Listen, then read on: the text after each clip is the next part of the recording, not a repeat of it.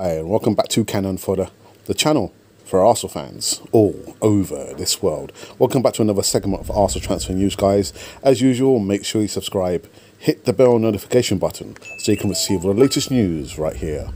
Brighton Stivers Bissouma re reveals how he almost died during a soldier injury and didn't wake up for 13 hours.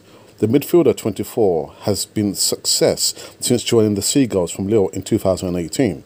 But Bissouma said his life hung in a balance following a shoulder surgery two years ago. The Malian international spoke out following criticism of him in the West African country. Bissouma has won 19 caps, but not played for the national side since 2018. Coach Mohamed Magassouba has since called him up, but the midfielder has had to withdraw from the Eagles squad during injury. Bissouma told Malian media, People speak a lot about me, but they don't know what they're talking about. I came within a whisker of dying on the hospital bed. I remember I was supposed to wake up two hours after the operation on my shoulder. However, it took me 13 hours before I came around. Afterwards, my family never even wished me a speedy recovery. Now, they want me to return to the national side, but it doesn't work like that. After my operation, I worked like a madman to get back stronger. I have nothing against Mohamed Magassouba but my agent rang him many times to discuss my return to the national side, and he never replied. He wants the public to turn against me.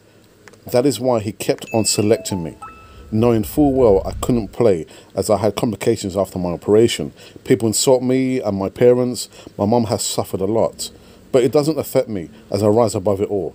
I don't feel resentful. I forgive everyone.